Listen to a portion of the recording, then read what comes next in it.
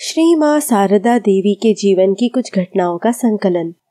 सन 1890 में रामकृष्ण संघ के छठे अध्यक्ष विरजानंद श्री रामकृष्ण की सन्यासी संतानों के संस्पर्श में आए।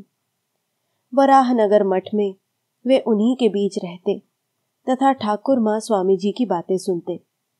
स्वामी जी पश्चिम में धर्म प्रचार में व्यस्त थे, किंतु श्री रामकृष्ण की लीला संगिनी श्री माँ जयराम बाटी में स्थूल शरीर में ही थी।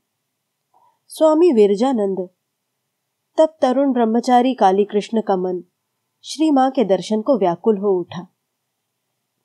सुअवसर भी आ पहुँचा। जगत धात्री पूजा के अवसर पर स्वामी शारदानंद के साथ वे जयराम बाटी को चले। जयराम बाटी पहुंचकर उन्होंने चरण स्पर्श कर श्री माँ को प्रणाम किया। श्री माँ ने भी स्नेह से उनकी ठुड्ढी का स्पर्श किया। उन सभी को पाकर श्री माँ के आनंद की सीमा न रही। क्या करें, कहाँ ठहराएँ, क्या पकाकर खिलाएँ, कुछ समझ ही नहीं पा रही थी। दिन रात श्री माँ उनके आराम को लेकर चिंतित रहती। दोनों वक्त उनके लिए स्वयं विभिन्न व्यंजन पकाती। श्री माँ इतने अच्छे अच्छे पकवान बनाती और इतने स्नेह मनुहार से खिलाती कि प्रतिदिन काली कृष्ण प्रायः दुगुना खा डालते। वहाँ खाना इतना सुस्वादु और मधुर लगता कि कहा नहीं जा सकता।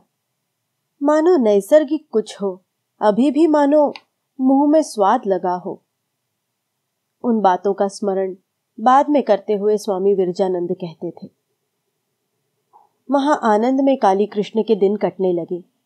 बालक होने के कारण श्री माँ की व्यक्तिगत फरमाइशों का भार भी उन पर पड़ने लगा, जिसके कारण वे श्री माँ के पास अबाध रूप से अंतपुर में जा पाते थे। बीच बीच में स्वामी शारदानंद चीलम की आग लेकर आने के लिए काली कृष्ण को श्री माँ के पास भेजते। किंतु बेटे के हाथ क्या आग देनी चाहिए?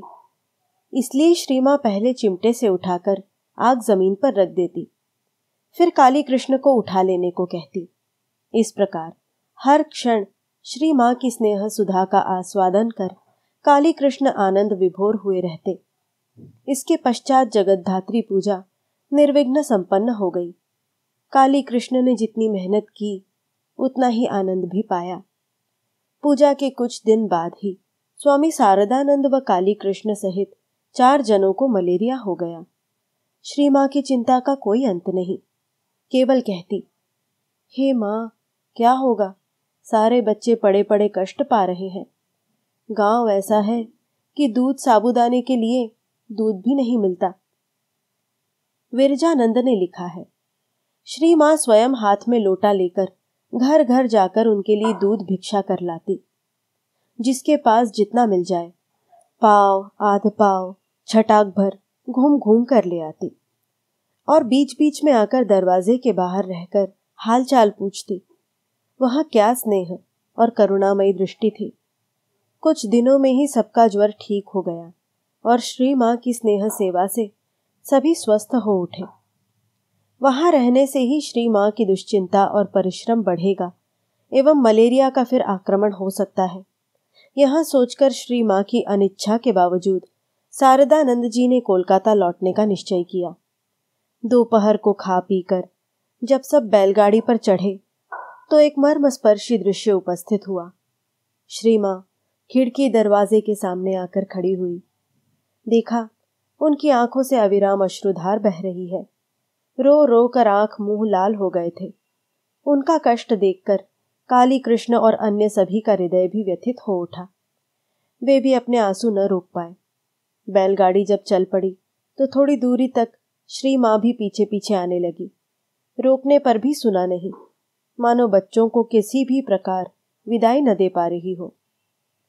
ताल पोखर पार होकर गाड़ी गाँव के बाहर विस्तृत मैदान में पहुँची। काली कृष्ण ने पीछे घूमकर देखा श्री माँ ताल पोखर के पास ही खड़ी है। जब तक गाड़ी आँखों से ओझल नहीं हुई श्री माँ वैसे ही खड़ी उन लोगों की ओर देखती रही। काली कृष्ण अवाक हो सोचने लगे, ऐसा अकल्पनीय स्नेह क्या अपनी माँ भी दे सकती है? घर की माँ को तो खूब प्यार कर चुका हूँ। वे भी कितना स्नेह करती थी। किंतु ये तो जन्म जन्मांतर की माँ है। चिरकालिक अपनी माँ।